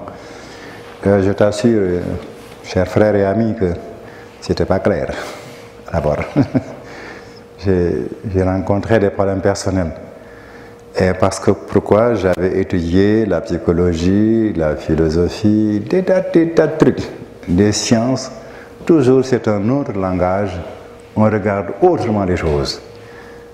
Cependant, quand je voulais travailler sur mon être, qui suis-je? Comment Dieu m'a-t-il fait? Vous voyez bien le jeu J'étais tout de suite embarrassé par les choses que j'avais apprises auparavant. Ça m'embarrassait beaucoup. Et donc je me rendais compte que je me, je me répondais par ce que j'avais appris en psychologie, en philosophie ou même dans la vie sociale, je me répondais à la place de Dieu. C'est mes yeux qui remontaient. Je, je ne laissais pas Dieu me répondre, je me répondais moi-même. Oui, c'est ça. Il me fallait donc arriver à enlever ces erreurs de perception. Je, je n'attend- n'attendais pas la réponse de Dieu, je me répondais moi-même. Il me fallait d'abord me rendre compte que non, ce n'est pas Dieu qui me répondait, c'est l'autorité du psychologue, du philosophe, etc. Selon qu'il a vu, de l'anthropologue ou du sociologue. Mais je n'avais pas à attendre la réponse de Dieu. Dans ce domaine-là, Michael, j'ai d'abord souffert. C'était du, du- brouillard en moi-même. Donc, au fur et à mesure que je cherchais, je me, faisais de la critique. Je faisais des critiques sur moi-même. Je, je sais que, écoutez, écoutez, ne faut pas que je confonde Dieu avec euh, ce que j'ai appris de Socrate par Platon ou un autre. Que, non, faut, pas que, non, faut pas, que je confonde ceux qui, celui qui répond. Donc j'ai été amené progressivement à- à redéposer ces choses et à essayer de repérer plus clairement mon être à partir de ma propre perception. Ce n'est pas en un jour que je l'ai éclairci, ce n'est peut-être pas même en un mois, mais j'étais très obstiné. Tant que ce n'était pas clair, je revenais à la charge. Quand on cherche sur un problème, tant qu'on n'a pas trouvé, on recommence. Mais plus je recommençais, plus je me rendais compte que la perception de mon être sortait de plus en plus des idées des autres. Et ça, c'est évidemment, c'est une expérience qu'on fait. Et quand on le fait, on voit les résultats. Plus je me rendais compte que j'échappais au discours des autres, mais j'étais plus en face de moi-même. Plus en face de moi-même. Et plus j'étais en face de moi-même, je disais, mais comment mon corps qu'il a fait, la conscience qu'il a fait. Voilà des choses qui m'ont conduit. Ce n'est pas Socrate, ce n'est pas euh, Hegel, ce n'est pas euh, Jean-Paul Sartre, ce n'est pas un autre sociologue qui s'appelle Hobbes, Rousseau, tout ce que l'on veut. Je m'éloignais de plus en plus de ces théories que, que j'avais apprises à l'école, hein, que je me posais de, de plus en plus au niveau central. Je ne dis pas que ce n'est pas bon, mais en ce qui concerne vraiment la compréhension fondamentale de mon être, j'avais besoin de dégager ce qui n'était pas fondamental. Voilà le problème. Donc. Plus j'écartais ces choses, plus je me trouvais face à face avec Dieu. Donc, ce sont des exercices qu'il faut peut-être apprendre à faire. Si ce n'est pas nécessaire à quelqu'un, ce n'est pas nécessaire. Mais moi, cela a été nécessaire. Il fallait vraiment eh, arriver à être en face de la vraie cause, du vrai effet. Oui, mon frère. La vraie cause de mon être, ce n'était pas Rousseau que j'avais étudié, ce n'était pas. Quand bien même il est parlé sur le contrat social, sans que je sois d'accord avec lui, par ailleurs, je ne suis pas d'accord avec lui tout à fait. Ce n'était pas Hobbes, ce n'était pas un autre, ce n'était pas un autre, ce n'était pas un autre. Quand bien même que ce qu'ils ont dit était intéressant, ça et là, mais il n'était pas. Alors vraiment, je faisais le net sur moi-même, sans même m'en rendre compte. Il y avait chez moi un besoin de m'asseoir sur des choses fondamentales, dans l'exactitude des choses. Donc, j'ai éliminé, j'ai éliminé, j'ai éliminé beaucoup de choses que j'avais apprises qui étaient bonnes, mais qui avaient créé dans ma tête presque, qui avaient obscurci cette perception fondamentale de mon être. Ainsi de suite, vraiment, le reste, je ne peux pas le dire par des termes très précis. Je vous enverrai à l'expérience, mais je peux vous dire par témoignage que plus je faisais ce travail, plus ma conscience allait au-devant de Dieu. Et plus j'avais des réponses inédites qui ne venaient plus de ce que j'avais appris. Et que je savais parfaitement relier à ma direction de recherche, qui est le fondement de mon être. Le jeu Ça, évidemment, il faut que chacun fasse son expérience et il verra bien ce qu'il trouvera. Ça, c'est pour lui répondre sur le phénomène du fonctionnement de mes efforts pour arriver de plus en plus à la perception claire de mon être, à la conscience claire de moi-même, hein, en direction et par rapport à, au créateur de mon être, et non plus par rapport à ce que j'avais appris. C'est un, un début de réponse. Si je voulais tout dire, on va rester là jusqu'à cet après-midi. Mais par ailleurs, tu pourras me reposer encore des questions. C'est très bon. Quand on répond, une question surgit. Surtout dans les personnes ardentes et jeunes qui cherchent. J'ai l'habitude. Quand on répond, ça met une question. Quand on répond, question. C'est comme ça même que dans mes premiers travaux de, de, de présentation spirituelle de mes partages, comme je le disais à Gaëtan au Sénégal, j'avais commencé par demander à Dieu comment est-ce que je m'y prendrais. Tout à l'heure, on en parlait à la maison. Comment est-ce que je m'y prendrais? Je savais déjà quelque chose, mais comment le partager? C'est aussi un autre problème. Ce n'est pas question seulement de savoir, mais comment partager? C'est même plus difficile que comment savoir. Je vous assure, ça a été pour moi en tout cas. Plus difficile de trouver la technique de partage avec les gens de mon temps que de trouver Dieu dans ma réponse. Ah, c'est là le problème. C'est beaucoup plus difficile dans la seconde partie. Je ne, je ne savais pas d'emblée inventer cette méthode originale. Ça n'existait encore nulle part dans ma réalité. Je l'aurais prise tout de suite, je ne l'aurais pas cherché. Mais je savais que c'est très lié logiquement à Dieu. Si je le connais, tous les autres hommes doivent le connaître. Il faut que je me demande, mais comment partagerai ce que je sais? C'est tout à fait normal. Et à qui je vais m'adresser? Mais c'est même Dieu. Et ça, c'est pas très facile. Beaucoup de gens oublient Dieu quand ils ont appris quelque chose. Boum, ils sortent dans la rue. Ils ne demandent plus à Dieu de les accompagner. Jésus disait oui, si c'est la volonté de Dieu. Voyez bien le jeu. Que les gens n'ont pas encore très bien compris. Ah, oui. Si c'est la volonté de Dieu. C'est très important. Si je veux faire connaître Dieu et que je ne demande pas à Dieu de m'accompagner, ça veut dire que je te fais connaître Dieu sans, sans toi. Qu'est-ce que je fais? Des bavardages. Ah oui, ça évidemment. Ça aussi, c'est un risque sur lequel il est bon de rendre sa pensée très équitable. Il faut être juste et équitable, vraiment. Donc, quand j'avais compris quelque chose, le second problème, c'était comment le partager. J'avais vraiment envie de partager. C'est curieux, mais quand, on, quand, Dieu vous touche, vous avez envie de toucher vos collègues. Ça va ensemble. hein. C'est parce que Dieu aime les êtres. Ça va directement. Que s'il surgit en toi, automatiquement, l'amour des autres surgit en toi. C'est même Dieu, automatiquement. Quelquefois même, on est tellement pressé qu'on voudrait changer toute sa famille. J'en ai vu des erreurs au Sénégal et ailleurs. Tout de suite, il faut que tout le monde change. Oui, vous n'avez pas compris. Cet amour est tellement fort quelquefois qu'on ne mesure plus rien. Donc, Il y en a qui le connaissent déjà. J'ai demandé à Dieu assez longtemps quand même comment m'y prendre dans le Sénégal de ce temps-là. Sociologiquement, c'était un moment particulier dans son histoire. Venait de sortir de l'administration coloniale et affronter son, son initiative politique personnelle, comme on dit, les indépendances. Et donc, euh, la jeunesse avait une autre figure, mais les adultes aussi étaient autrement bouillonnants. Situation qui avait changé. Ça, c'est important, faire attention. Les hommes, sur le plan psychosociologique, comme on dit, sur le plan culturel et de l'évolution, n'en sont pas toujours à la même sensibilité. Ça va, ce sont toujours les mêmes hommes, mais quant à la vie, ils la vivent toujours dans des conditions, dans des cadres, dans des situations particulières. Et ça, ça fait partie, ce qu'on appelle le côté culturel des individus. Donc ça en fait partie. Si vous escamotez cette dimension, les hommes ne vous entendront pas. Ils ne vous écouteront même pas. puisque vous êtes dans un autre monde, vous êtes ailleurs, tu n'es pas parmi nous. Vous écouteront pas. Et c'est normal aussi. Donc il m'a fallu, ça je l'avais compris, vraiment réfléchir avec Dieu et trouver des astuces, une possibilité de pénétrer. Ce qu'il m'a envoyé au départ n'était pas très évident s'il n'avait pas soutenu mon intuition.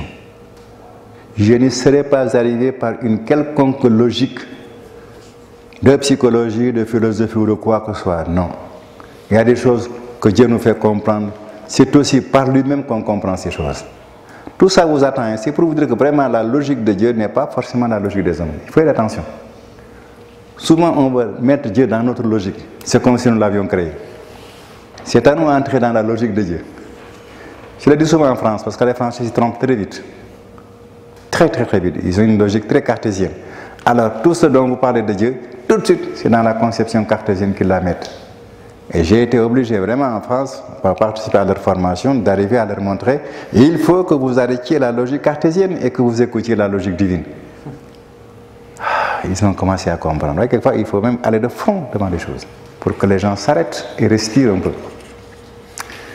Depuis lors, ils s'en souviennent. Quand il m'a Moussa, il ne faut pas que l'homme organise Dieu. Il a déjà tout organisé. Nous voulons organiser Dieu. Il ne faut pas que les hommes flanquent leur logique à Dieu. Dieu a déjà sa logique. C'est à nous de nous ramener à Dieu. Ça, c'est très important. Et il nous dit, il nous reçoit pour le faire. Mais ce sont des, des- des attitudes humaines qui se comprennent parce que les hommes sont déjà habitués à une certaine façon de faire. Et ils veulent que Dieu les suive dans cette habitude. Ils ne se rendent pas compte que Dieu les appelle à lui. Bon, voilà, ça c'est pour discuter un peu rire au besoin quand vous aurez l'occasion d'y revenir. En ce qui concernera votre propre parcours, il m'a signalé que il y a une crise qui se passait à ce moment-là au Sénégal. Crise politique très sévère, très conflictuelle entre le pouvoir politique et la jeunesse, comme d'habitude d'ailleurs. Ma maison était à côté de l'université, à deux pas, au Sénégal. Alors on passe par là, presque la ruelle qui passe devant ma maison pour aller à l'université. Donc tous les conflits de l'université avec l'autre, ça passait devant ma maison. Je voyais les chars qui débarquaient. là. Je dis des chars, hein, c'est pas autre chose. Et les boum boum qui tombaient sur la tête des élèves.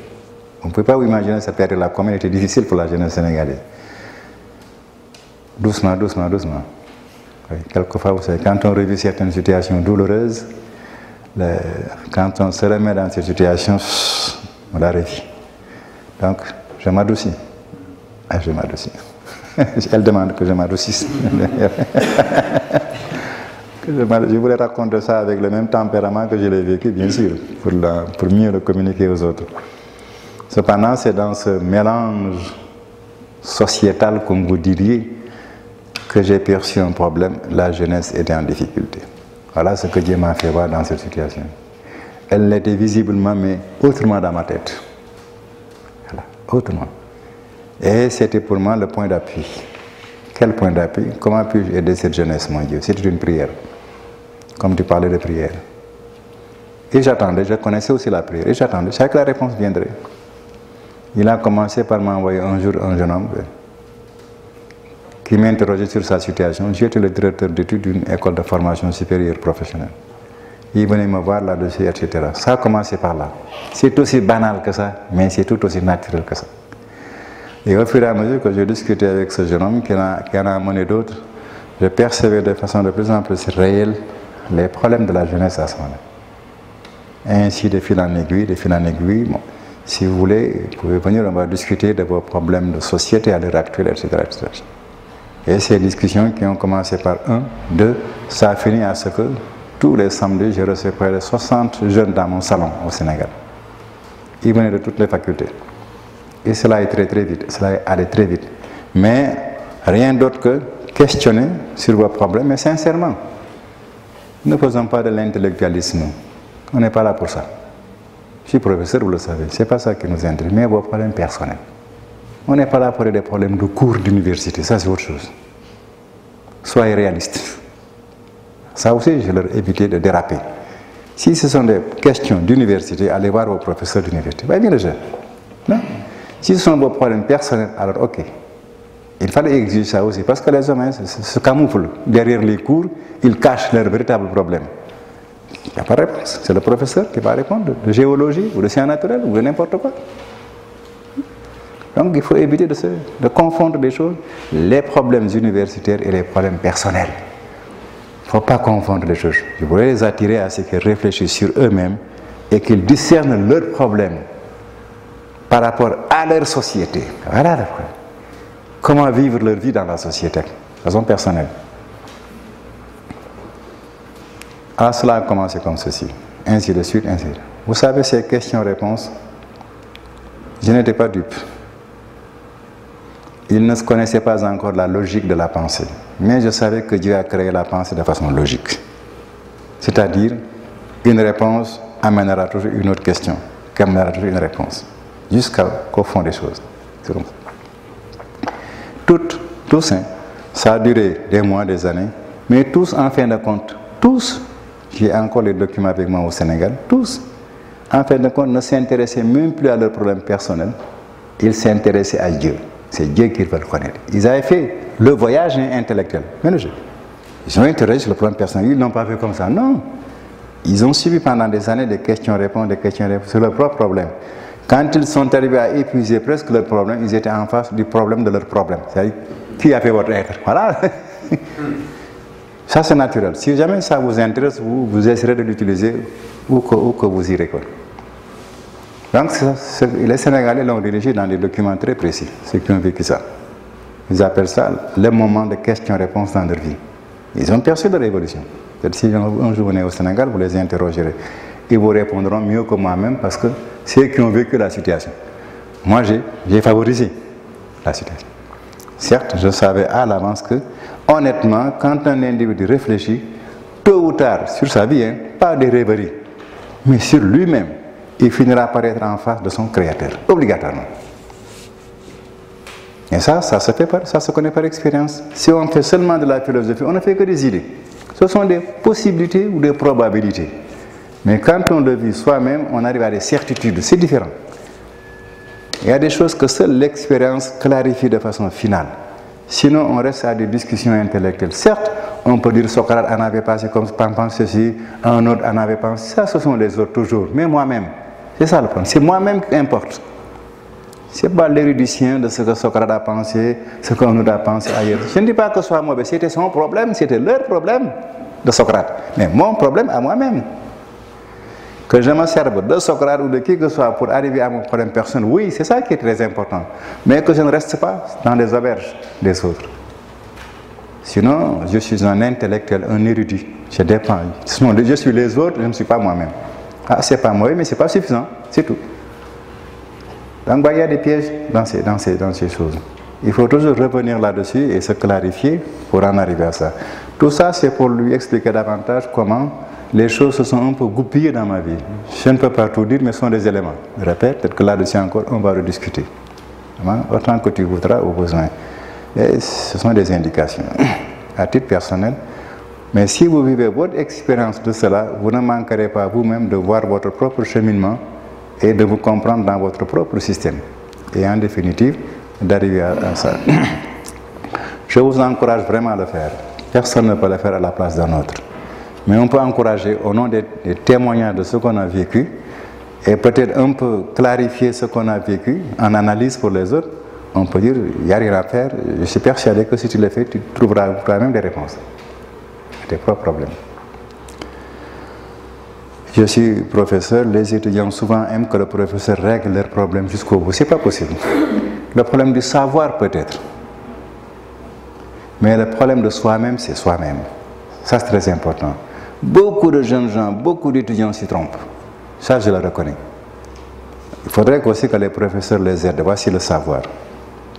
Arrange-toi avec pour en définitive en extraire ce qui te convient personnellement. Mais là, l'étudiant doit faire un travail personnel, croyez-moi. Je sais que ce n'est pas facile. J'ai été étudiant, j'ai été professeur. Mais là aussi. Donc le travail personnel, en fin de compte, c'est à ça qu'on se ramène. C'est nécessaire, l'expérience personnelle des choses. Donc voilà, je m'excuse, je n'ai pas tout dit, Michael, mais au fur et à mesure, on va revenir là-dessus. On ne peut pas tout dire, vraiment, c'est une vie de, presque d'une trentaine d'années, ça ne peut pas se dire en, quelques heures. Mais certainement, on peut y revenir toute la semaine que je serai là. Tu m'attraperas dans les coulisses partout ailleurs et on complétera les discussions. Les autres aussi, c'est pareil. Je ne coupe pas, mais je suis obligé de, respecter un peu aussi l'Assemblée, les gens, tout le monde. Mais dans les coulisses ou ailleurs, nous continuerions ces débats. Peut-être quand on sera seul à seul, je serai encore plus inspiré, parce que ta pensée va plus directement sur ma pensée, qui viendra plus directement sur ta pensée. Je ne te cache pas que les choses se formuleront encore de façon plus, plus entière. J'ai fait cette expérience. Quand je commençais l'enseignement spirituel, je faisais d'abord un après un. Rien que pour que celui à qui je m'adresse gère toute la situation. Et que sa pensée soit entièrement maîtresse de la situation. Ça aussi, c'est une pédagogie importante. Quand vous la pratiquerez, vous verrez. Alors, la personne était à même de débloquer toute la puissance de son être pour la compréhension. Et ça allait plus profondément. C'est progressivement que je suis arrivé au groupe. Puisque tu as lu le livre du Rantia, peut-être la vie de Jésus, vous avez vu qu'on dit quelque part au début Pardon? Tu as lu dans le livre du Rantia à propos de Jésus Oui. qu'au début il enseignait un par un, quelquefois deux, jamais plus de trois. Tu as lu ça? S'il a pris 12 apôtres, c'est parce que Jean-Baptiste l'avait précédé et a fait le travail. Il y a des moments pour faire le groupe. Mais le mieux au départ, c'est l'un après l'autre. Mais dans votre expérience de la vie, vous vous en rendrez compte. Très sincèrement, si vous le faites, vous, apprécierez des choses qui, ne peuvent pas être dites. Ce que seule l'expérience révèle. Tout ça, ça fait partie du blablabla de ma vie. Il y en a encore d'autres facettes. Nous aurons l'occasion peut-être d'en parler. Et peut-être ça peut être utile dans la vie quelque part, ça ou là. Donc hier, on avait s'était séparé sur la conscience de soi. Ce matin, j'y reviens en disant pratiquez cette vision de vous-même, réflexion sur vous-même. Et maintenant que vous avez dit que votre conscience, votre personnalité, votre tout vous est donné par Dieu, mettez-le au rendez-vous. Qu'après tout, qui va expliquer mon être à mon être? Vraiment, le professeur, le vrai professeur, c'est Dieu, en dépit de tout. Nous n'allons vraiment pas par les quatre chemins. Nous l'avons dit hier. mais Soyons logiques dans nos conclusions. Si Dieu est mon créateur, je m'intéresse à mon être. Il ne faut pas que je l'oublie. Oh mon Dieu, je pense à toi au moment où je m'intéresse à moi, tu m'as créé. Je réfléchis. Donne-moi ta lumière. Mais comme un enfant. Et on se met à réfléchir. De jour en jour, on voit cette lumière qui m'éclaire toujours davantage sur moi-même. Il sait bien ce qu'il y a en moi. C'est bien lui qui a placé tout ça en moi-même. Et il sait comment il l'a placé. Et il sait comment ça doit arriver à, une prise claire de, moi-même par moi-même. Mais il ne peut pas le faire si je ne veux pas. Voilà le problème de respect que Dieu éprouve. Il faut que l'homme veuille. Et ça, c'est important. Et s'il le veut, il expérimente. Il faut qu'il pratique. C'est pas parce que je le veux que c'est clair. Non, non, non. Il faut donc que je me mette en situation personnelle. C'est personnel, ça. Moi, connaître moi-même, c'est personnel, ça. Donc, il faut que je sois seul avec moi-même. Et avec Dieu, bien sûr. Donc ça ne le perdons pas de vue. Il est bon qu'on y revienne toujours pour clarifier les choses. Ça, me rend, ça augmente mon attention, ma concentration sur Dieu et sur moi-même. Il y a là des jeux de lumière qui existent en nous, mais qui sont réellement mieux éclairés par Dieu. Si je n'y fais pas attention, je ne m'intéresse qu'à mon corps, je suis biologiste. Ce n'est pas le tout de Dieu. Il n'a pas fait que mon corps seul. Bien le problème. Ce sont les erreurs. Si je n'y fais pas attention, je ne m'intéresse qu'à ma conscience. Je suis psychologue. Ou ma personnalité, ou je suis philosophe ou autre. Je, je sépare les choses. Alors Dieu n'est plus présent. Il est présent dans l'unité des choses. La lumière de mon être, c'est la sagesse qui fait l'unité de mon être. C'est ça qui m'expliquera clairement les choses. Donc faisons bien attention. Ce n'est pas, pas un jeu d'enfant, c'est un jeu d'adulte. La conscience de soi, c'est un jeu d'adulte. Ce n'est plus l'étudiant qui s'intéresse à la biologie, à la philosophie. Non, non, non, non, non. C'est celui qui s'intéresse à l'être total de son être. Voilà. C'est un jeu d'adulte, hein, ce n'est pas un jeu d'enfant, ni d'étudiant, c'est vraiment un jeu d'adulte. Et ça, croyez-moi, il faut qu'on apprenne progressivement à laisser la totalité de mon être en synthèse bien réalisée par Dieu. Il ne m'a pas créé séparé. Unité. Cette unité, c'est de la sagesse. Ça, ça agit dans mon être par rapport à Dieu. Et plus je m'y intéresse, plus il m'éclaire. On ne peut pas en dire davantage à l'individu, sauf pratique. Fais ça toi-même et tu verras. Mais on peut témoigner, j'ai fait et ça m'a apporté beaucoup de satisfaction. Mais il n'y a pas autre façon pour toi de le savoir que de le faire, c'est tout. Choisis ta manière de le faire comme tu veux, mais quand même n'oublie jamais que c'est tout ton être, ta conscience de soi, entièrement que vous prenez en charge, qui recevra l'éclairement de Dieu. Ce n'est pas seulement ton corps d'un côté, pas seulement ta conscience d'un côté. Les hommes ne fonctionnent pas généralement en synthèse, ils fonctionnent en détail. Et voilà. Mais devant Dieu, il faut fonctionner en, en synthèse, en sagesse. La sagesse fait la synthèse. C'est différent, hein? Hein? C'est différent. Le tout n'est pas la partie. Donc il faut vraiment que là-dessus aussi, nous nous, intéressions à cette opération. Le tout de mon être est là, c'est Dieu qui l'a fait. C'est en moi-même. La sagesse de mon être est entre ses mains. Le secret de ma création, l'unité de ma création, dès l'introduction, on en avait parlé. Et cela nous revient. Donc, euh, ne l'oublions pas, on en a parlé. Travaillez-y de temps en temps, donnez-vous un moment dans la journée, soyez seul, réfléchissez, recommencez demain, après-demain. Ne vous découragez pas, vous êtes toujours même et la sagesse de votre être est toujours avec vous-même. Et Dieu avec vous-même. C'est vraiment pas raisonnable de se décourager. Tout est avec moi partout. Hein? Vraiment, ça c'est important. Tout est avec moi partout où je suis. Pourquoi est-ce que je me découragerai Mais je dois lutter contre mes habitudes un peu trop parcellaires, un peu trop intellectualistes, un peu trop formalistes. Il ne faut pas être formaliste avec Dieu. Si je le formule en biologiste, il se tient à l'écart. Il est plus que ça. Il n'est pas que ça. Il faut faire attention et il faut vraiment oser changer progressivement sa façon de regarder les choses. C'est au mieux de mon être. Donc aujourd'hui, si vous le permettez, nous allons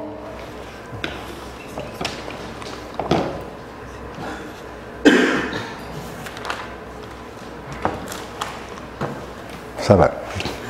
Si vous le permettez, euh, je réfléchissais quand je vous quittais hier entre attaquer la personnalité approfondie ou revenir sur la conscience approfondie. Je demandais à Dieu quoi faire.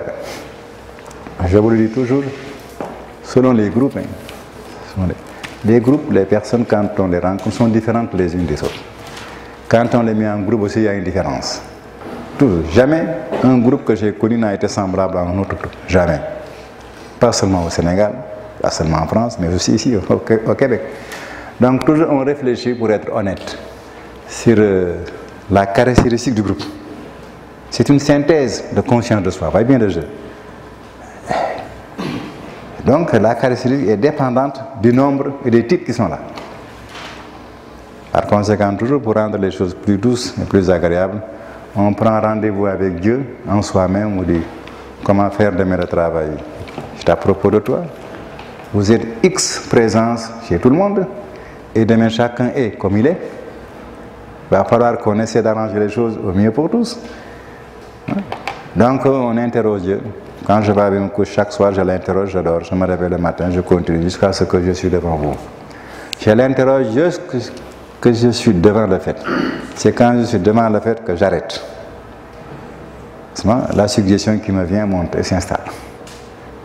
Mais tant que je ne suis pas devant le fait, le moment d'agir, je demande encore que cela vienne. Vous comprendrez ces choses au fur et à mesure que vous avancerez. Il ne faut jamais fixer d'autorité des choses en dehors des choses. C'est une question de vie. Donc il faut aller jusqu'à ce qu'on ait en contact avec la situation. À ce moment, souvent, les inspirations divines surgissent dans notre conscience.